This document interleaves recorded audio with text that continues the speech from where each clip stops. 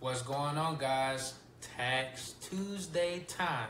All right, let's talk about your business structure. Okay, as you know, there are LLCs, partnerships, S corps, and C corps. Which one do you fall into? Or a better question, which one should you fall into? You will only know this by having your accounting records accurate and up to date because each one is different. The LLC and partnership flows down to you.